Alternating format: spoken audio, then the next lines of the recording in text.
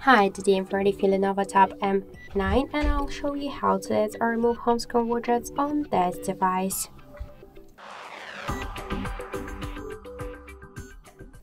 So first we should hold for a while home screen with our finger, then tap to the widget, click to get it, and you'll see here all of the available applications with widgets you could add. For example, in calendar application, we could find here two different types of the widgets. To add the widget to your home screen, you should just hold it and drag it to your home screen. If you want to move the widget on this home screen or between these screens, you should just hold and drag it. To move folder here on the screen, uh, sorry, to resize it, you should hold it for a while and after that you should make it bigger or smaller. And to remove it from your home screen, you should just hold and drag it to remove icon. So that's it, thank you for watching and if you find this video helpful, leave thumbs up and subscribe.